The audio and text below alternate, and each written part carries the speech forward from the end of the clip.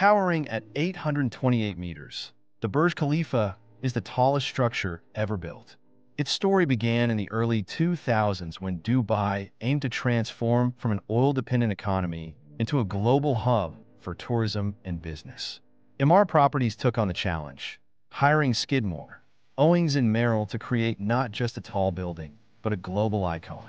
The design, inspired by Islamic architecture and desert flowers, features a Y shape that helps it withstand strong winds. Construction started in 2004 with a deep foundation of 192 concrete piles. Over 330,000 cubic meters of concrete and 39,000 tons of steel were used, wrapped in glass panels that reflect the sun. Inside, it boasts the fastest double-deck elevators and luxurious spaces, including the Armani Hotel. Officially opened in 2010, the Burj Khalifa redefined architectural possibilities and transformed Dubai's skyline forever.